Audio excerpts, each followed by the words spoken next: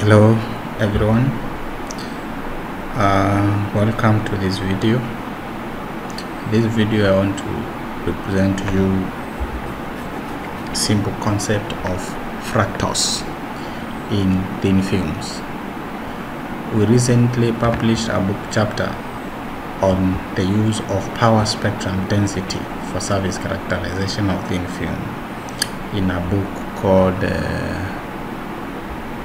published it in this book in Wiley. The book is called uh, Photo Energy and Thin Film Materials by Xiao Yu Yang. The book was published 25th of March. So you can see our chapter is uh, number 9. You can quickly, if you are interested, you can quickly refer through that book chapter and get the detailed analysis of thin film using power spectrum density. And in that case I want to present you the a simple slide explaining the concept used in that book chapter. So this work was presented in South African Society for Mechanical Engineers in 2017 November and that work was later extended to a book chapter which I've just shown you. So uh, by introduction, atomic force microscopy is usually in studying surface top topography to give image of this nature. And what kind of information do we get from AFM? We get the information about the vertical noise and the lateral or distribution of the features mostly what is got uh, the what is obtained from this kind of services is a uh, roughness values. This could be root mean square roughness average roughness and so forth skewness kurtosis. Second is the surface microstructure which shows the grains the morphology and the distribution of such. That is a conventional information obtained from AF images. Now when we talk about the root mean square roughness we are basically talking about the roughness expressed in terms of the deviations from a mean plane. Like shown in figures A and B the mean of the heights of this rough surface are shown by the blue R blue line as indicated by the black arrow. And as physically can be seen B is rougher than A. Root mean square roughness expressed as such is good for comparing roughness of surfaces when they have similar structures like A and B. If the, in this case now we consider if we consider our other services a and B, we find that, uh, sorry about that, we find that uh, physically these surfaces look different. But when you do root mean square roughness, you find A and B will have the same roughness. This means that the structure in both surfaces have the same main have the same deviation from the mean plane indicated as blue but physically B appears rougher than A. Why? Because horizontally the structures for the two surfaces are different. This is the limitation of the root mean square roughness. It does not give the lateral roughness difference in surfaces. Okay, so how do we incorporate the lateral or horizontal information about the surface features. How do you know where the bumps or peaks on the surface start and end? These questions are important in providing detailed information on lateral and distinction between different surface structures, peaks and valleys. These questions are best covered by using the fractal theory and in this case one method of studying surface through fractal theory is the use of what we call the power spectral density analysis of AFM images. This method uses power uses power spectral density functions. Now in this case I want to illustrate to you the steps you take an image to obtain data using PSD we have said that a power spectral density is most de descriptive than the root mean square and it uses the fast Fourier transform theory to decompose the surface features into spatial wavelength and allows analysis of surface topography in frequency domain. So what happens, you get the AFM image, you subjected it to fast Fourier transform algorithm, which gives you a wave image.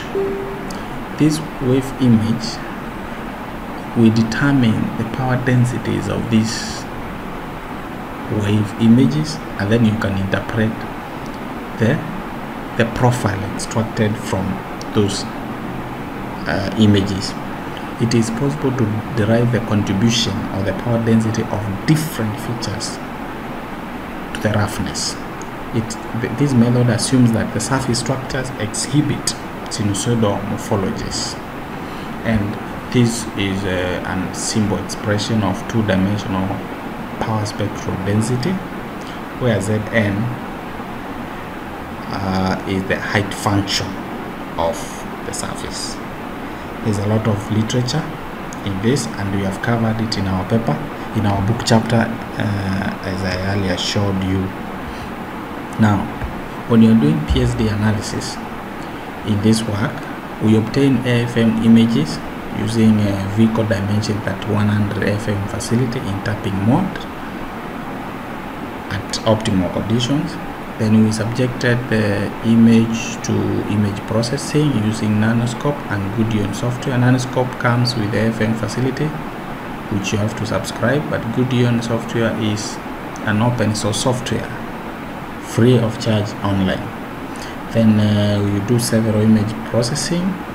Then you can now do power spectral density using the Welch algorithm of fast Fourier transform in MATLAB code and then from there you interpret the the results or the profiles obtained from the MATLAB using K correlation model or power spectral or uh, the power law or whichever mathematical model you are familiar with. The K correlation model we use in this case as assumes this kind assumes that the power spectral density can be written as such where A is related to the low frequencies, B is the correlation length and C is the transition related to PSD at very high transition between high and low frequencies.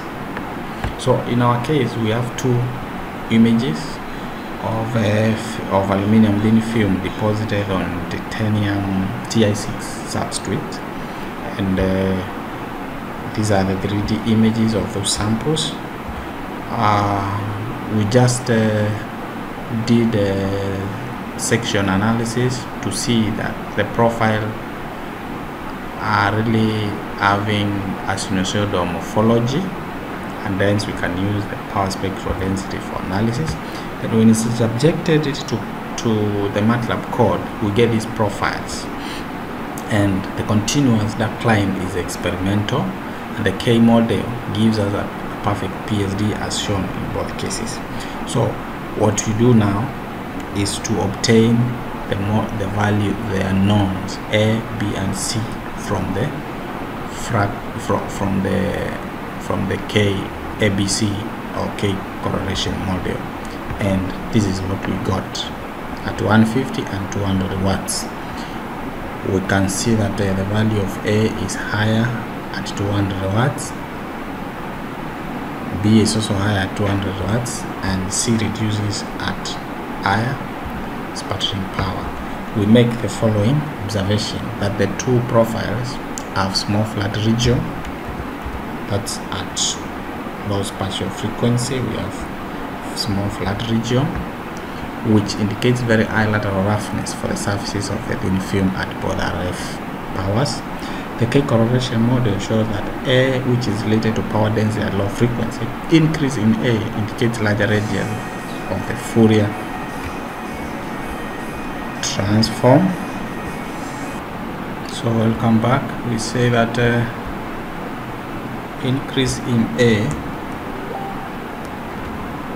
increase in A at 200 watts indicate formation of more structures laterally on the surface and B is the correlation length transition from peaks to valleys and vice versa larger values of B indicate lower lateral roughness on the surface which means at 200 watts lower roughness is reported expected due to densification of the film at higher power C describes the spectrum at high frequency in Fourier image.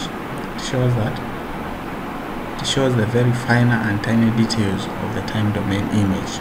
Low value of C indicates that most of the surface structures are large. In this case, low C is noted at 200 watts, since most surfaces have evolved to increase in power.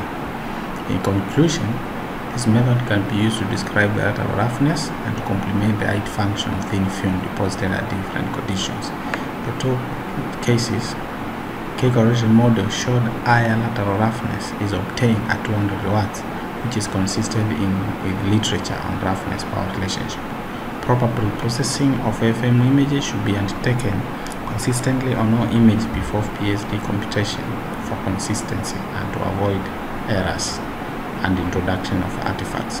For statistical accuracy, PSD should be computed for several images of the same sample but at different locations and uh, statistical analysis should be applied to determine the variance and get accurate results. Thank you very much and these two articles were very useful to the development of this work. So I request you kindly to check go through this book you can buy the book and or you can purchase our chapter and please try to use this concept in your work. So i'll give you a brief uh, overview of how the chapter looks like. Or what i've presented is well illustrated we have detailed equations about describing the area of two-dimensional power, spect power spectrum density. I have also included the methodology. I've shown the the the, the flowchart of my MATLAB code. And uh, here the results are presented well tabulated results. This is what we calling the Fourier transform outputs. These are the same graphs as I presented in the PowerPoint. These are the ABC correlation but in this case we included also the power law. So and the detailed description and the conclusions are shown thank you very much and please like my channel. Goodbye